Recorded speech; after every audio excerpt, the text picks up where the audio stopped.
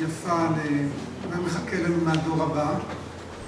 השילוב של גילוי רבדים חדשים בהיסטוריה היהודית המרוקנית עם אה, תיאוריות חדשות מתחום מדעי החברה, אלה לא דברים שהכרנו כל כך בדור שלנו. הדובר הבא הוא בא אלינו עכשיו מפריז, גבריאל מונטלבנו. כמו שאמרתי, הוא הולך לדבר על יהדות בור. הנושא ההרצאה שלו הוא Assimilation Tradition Zionism, the case of Lydian Turi. אם הוא יוכל לומר אחר כך כמה מילים על הקהילה היהודית והאיטלקית בתוניסיה, אני יודע לו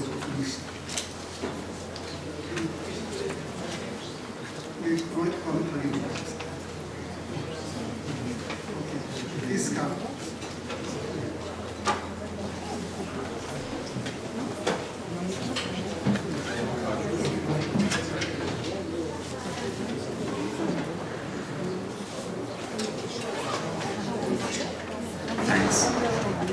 Um, firstly, I want to thank the Ben-Zvi Institute, uh, in particular Haim Saadoun and Judith Lovesten for having organized, and the other organizer, of course, for having organized this conference and the opportunity given to me to speak about the Libyan Jewry. I'm a first year PhD student, and my research is concerned with the Italian community in Tunisia, from the beginning of the French protectorate to the First World War.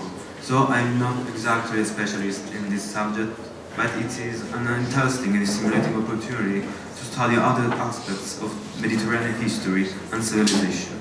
Furthermore, I want to thank my co-director, Nicola Labanca of Siena University, who suggested that I submit this paper, and my director, Gilles Pécout, professor at École Pratique des Études of Paris. Before starting, I have to make another admission. I don't speak or read Hebrew, so my lecture will rely on English, French, and Italian research that has been done about this subject. To introduce the history of the Jewish community of Libya, it's worthwhile to define some general aspects. It is important to underline that the geographical area known nowadays as Libya didn't have political or administrative unity until the Italian invasion in 1911. Regional differences in Libya were profound, and this affected the distribution of Jews in Libyan territory, which was not homogeneous. In fact, the majority of Libyan Jewry dwelled in the cities and ports of Tripolitania and Cyrenaica due to their importance in trading and business. Even between these two regions, there was a strong disproportion of Jewish population. At the beginning of the Italian domination, two, two-thirds of the community lived in the capital of Tripolitania, Tripoli. In Cyrenaica, only the Jewish community of Benghazi reached a consider considerable number of members, but still quite far from the numbers of the hideout of Tripoli, the Jewish quarter. During the late modern history, their importance in Libyan society was notable. Nevertheless, we have to consider the small size of this Jewish community if we compare it with the other North African Jewish communities in 19th and 20th century. To give an example, after the Second World War, there were 36,000 Jews in Libya, but 250,000 in Morocco, 130,000 in Algeria, and 90,000 in Abad, Tunisia. Regarding the history of this community before the 18th century, there is a lack of information, sometimes interrupted by documentation from the archives of Christian and Jewish organizations dealing with the release of slaves captured by Libyan crusaders. We can find some information on Libyan Jewry in Salvatore Bono's work, Storiografia e fonti occidentali sulla Libia. Between 1551 and 1711, the Libyan regions were directly under the rule of Ottomans, of the Ottomans. A period of independent government took place in Libya with the Karamanli dynasty between 1711 and 1835. According to the Felice's book, it seems that during this period the Jewish condition improved thanks to their participation in this autonomous government. With the return of the of Ottoman power in 1835, Libyan Jewry was more connected culturally and economically with the other Mediterranean Jews trading with, uh, within Ottoman borders.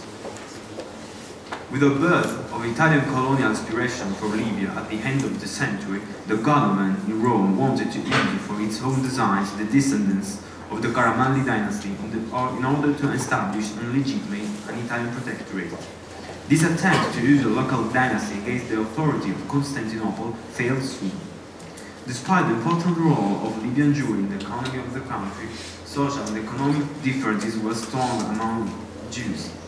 The number of those in need of Jewish charity institution remained high until the mass migration to Israel, the Aliyah. Thanks to the social and cultural analysis of Rachel Simon, it is possible to define the social discrepancies of these Jewry through linguistic and cultural evidence. On the one hand, the poorest, the poorest were closely interwoven with Arabic and Muslim society and spoke Judeo-Arabic. On the other hand, the richest, the richest Jews who traded with other countries spoke the Italian language and were keen to start a process of modernization of the Libyan Jewry, which was strongly characterized by superstition and poverty at the time. The Italian conquest marked the beginning of a period of, great, of great changes and challenges for Libyan Jewry. At the end of 19th century and during the 20th, the Libyan Jewish community was, was strongly influenced by two main factors, Zionism and, after the colonial occupation of Libya, Italian assimilation. First of these changes took place clearly in 1911 at the time of new European rulers in Libya. The Jews of Tripolitania supported openly the Italian invasion, hoping for an improvement of their condition in comparison with Muslim uh, Ottoman ones. The upper segments of the Jewish community of Libya became, at the beginning of the Italian period, the real intermediary between the Italians and the Arab Berber population. At the beginning, Italian governments didn't want to concede any privilege to Jews in Libya, but they had to because of the importance Jews acquired in the economy and the administrative field. During the liberal and the fascist period, the behavior towards the Jewish community was complementary to Italian-Arab relations. Clearly, this sort of collaboration increased the diffidence and the hostility of Muslim population, especially the nationalists, against the local Jewish community. Soon, the relationship between the Libyan Jewry and Italy revealed some disagreements. Italian rulers had started the colonial conquest underestimating and overlooking the political, social and geographical condition of Libyan area. They did the same with Libyan Jewry, simply approaching it as they would have done with the Italian Jewish community, which was culturally European and well integrated in the national customs of Italy's kingdom. The Italian Jewry, likewise, hadn't considered the profound differences with this North African community. The aim of Italian colonial administrators towards this Jewry, this Jewry was at the beginning to fill the social and economic gap that distanced it from the national one but the differences were bigger than expected.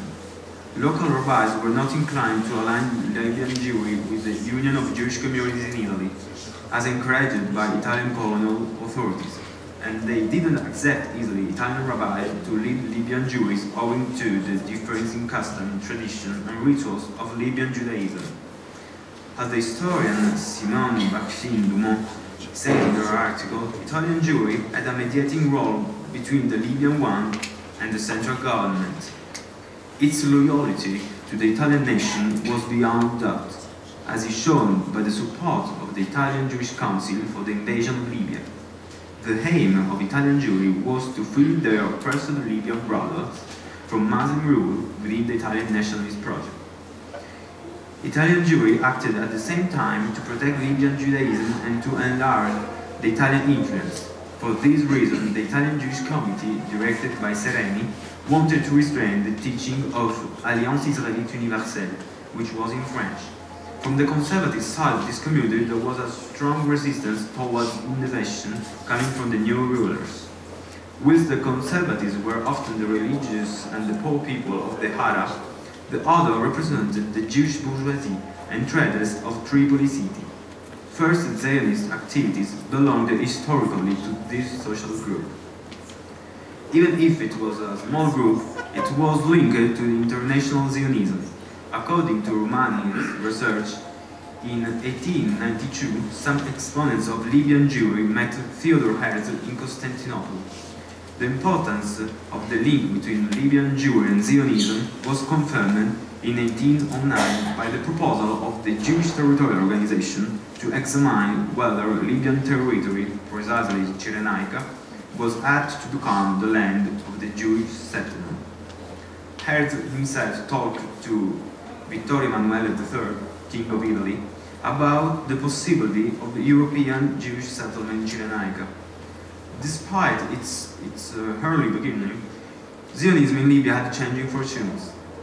After establishing the first Libyan Zionist organization in 1912, enabled also by the contacts with the Italian Jewish movement and its Zionist press, the response of the Tripolitan community was quite quick.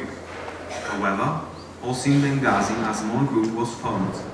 One of the purposes of these Zionists was Judaizing the Jewish masses so as to protect it from the danger of Italianization and assimilation. In order to face this problem, in 1916, the Zion Society, Circolo Zion, was founded and its leader was Elia Naizi. The teaching of Hebrew was considered as the main task of this society to pave the way, pave the way to a Jewish national awakening. The 30s saw a real reprise of Zionist activities promoted by an organization called Ben Yehuda, which intended to improve Jewish culture through the teaching of the language, books, association, and other cultural activities, all made possible by fundraising. In 1932, it financed entirely the whole, the whole Jewish educational system in Tripoli. In Benghazi, it was limited to Hebrew and religious teaching. The fear of Arab reaction and the policy, the policy of Italian colonial authorities prevented the further Zionist activities. Some problems and clashes with Italian authorities occurred in 1923 and 1937 because of the differences, the, the difference between Sunday and Saturday as rest day during the week. Anyway, it's quite inappropriate to talk about a real anti-Zionism of fascism during the 20s. For example, when in 1926 the Libyan Zionist movement wanted to publish a newspaper, Emilio De Bono, the fascist governor of Libya, asked the permission of Dino Grandi, and the Secretary of Foreign Affairs, who agreed in trying to use Zionism as a tool of fascist imperialism. Otherwise, the Minister of Colonies, Pietro Lanza di Scalea, even if he agreed with Grandi's idea towards Zionism, didn't want to retain the Arab population of Libya and stopped the Zionist publication. This event confirms the opportunist attitude of Italian fascism towards Zionism. Of course, this situation changed in the 30s. Fascist Russian laws in 1938 and the Second World War threatened directly the Zionist movement and the whole Libyan Jewry. It would be long and maybe off topic to draw out about the anti-Semitism of Italian fascism. Summing up the interpretation of De Felice, Matard-Bonucci, and other historians, we can state that fascist anti-Semitism started during the 30s and precisely after the racist propaganda during the Italian aggression on Ethiopia. This is not to underestimate the fascist persecution against Jews in Italy and its colonies, as the one suffered by Libyan Jews in Jados concentration camp during the war in 1943. After the Second World War, Zionist awakening took place encouraged by the participation of the Jewish Brigade in the British Army, who had an important role during the military offensive in Libya against Nazi fascists. The whole, the, the old Jewish organization started their activities again, and new ones were created in these years. The soldiers of the Jewish Brigade had an active role in these Zionist activities. If some considered Zionism a national identity, others, indeed most of the Libyan Jews, looked at it as a way to modernize and preserve the Jewish tradition and religion in post-war Libya. Conversely, the English administration, like the Italian one, didn't want trouble with the Arab population and forbade the official reconstitution of the local Zionist associations. If we want to subdivide the chronological the history of Libyan Jewry, the turning point won't be the World War II, even if so important to this community, but the pogrom of November 1945, which changed the mind of Jews about their future relations with the Arab Berber population. Between 1944 and 1945, nationalist and pan-Islamic ideas were on the rise among the Arab Libyan urban middle class. Accusations against Jews of usury and greediness became common among the Libyan people who suffered the economic crisis of post-war. The progress of this nationalism was linked to the return of Libyan exiles who were supporters of the nationalist movement. The pogroms started in Tripoli city and spread to the surroundings. 130 Jews were killed and the devastation of synagogues, shops, habitation forced another 4,000 to leave their houses and quarters. The damage to property was estimated around 300 million pounds. The British military administration interpreted this pogrom as no more than a riot which had gotten out of hand and didn't research for any political motivation. Moreover, the British military administration talked about an Arab reaction against Zionist activities in Libya, suggesting that the Jews would have been guilty for the own massacre. Historians, on the contrary, have argued that the role of the Arab nationalists was evident if we consider the speed of the organization of this pogrom and its diffusion in Tripolitania in place controlled by nationalists. To confirm this hypothesis, it's worth noting that, the, that many of the arrested belonged to Hizb al-Watani, the Libyan Nationalist Party. The pogrom of 1945 changed not only the relation between Arabs and Jews in Libya, but also and above all the possibility for Jews to stay in Libya, where they had lived for 2,000 years. The British administration revealed its incapacity to prevent and to defend the Jewish community from these kinds of danger. The possible establishment of an English protectorate over Libya at that time started not to be welcomed positively by Libyan Jews. Then two main tendencies would characterize now the Jewry, the one in favor of Italians and the suggestion of an Italian protectorate over Libya after post-war treaties, and another one arguing for a peaceful relation with Arabs and supporting Libyan independence in order to immigrate as soon as possible. Another great clash came up with the proclamation of the State of Israel 1948 and the consequent Arab-Israeli war, has happened in the rest of Arab lands, a wave of hostility emerged against the Jews. The Jewish community in Libya suffered another terrible pogrom, although less bloody than the one in 1945, thanks to the reaction and the capacity of, the self-defense of Jews. The possibility of the Italian protectorate that, according to some Jews, offered a better safeguard against the Arab rights was rejected and the United Kingdom favored a future independence of the country.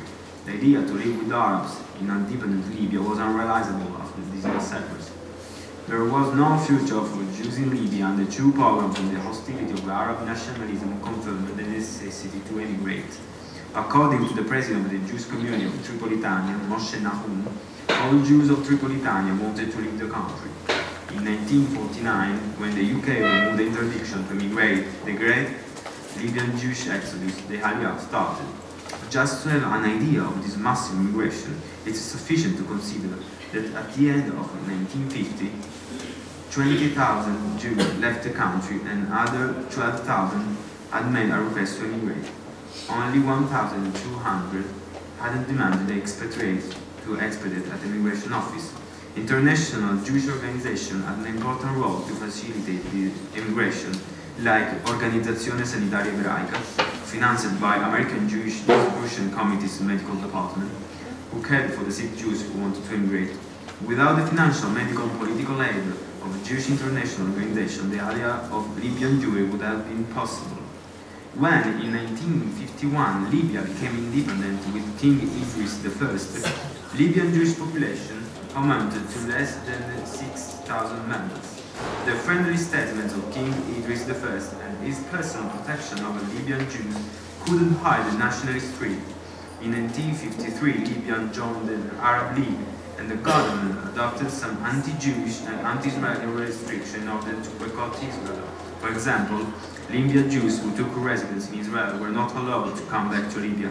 It's clear that the Jews who remained in Libya were vulnerable to the international political situation, in particular Arab-Israeli relations. The end of the history of Jews in Libya came with the social and political tension caused by the outbreak of the Arab-Israeli War in 1967. The mob attacked once more the Jews and destroyed in Tripoli city 60% of Jewish properties. Murders were committed against Jews in Tripolitania and Cyrenaica. Libyan nationalism was excited by this war, and the guarantees of Idris I were useless against the rage further fed by nationalists. There was only one solution. Jews had to evacuate Libya. The diplomatic role of Italy, which was the second destination of Libyan Jewish migrants, was very important in this humanitarian crisis. It offered hospitality to Libyan Jews, even for those who didn't have Italian nationality.